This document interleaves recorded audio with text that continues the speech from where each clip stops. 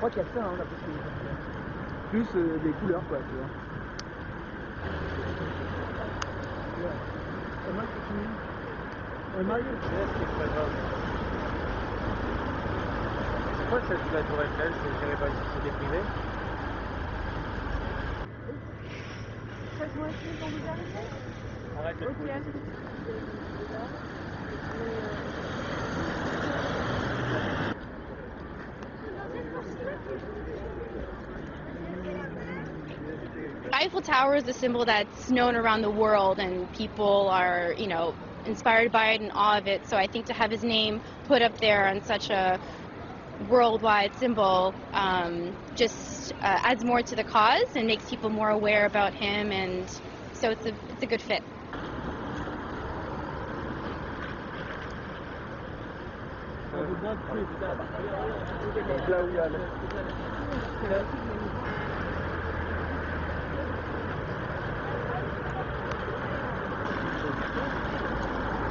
ça. I'm working with the company nous doing the l'âme.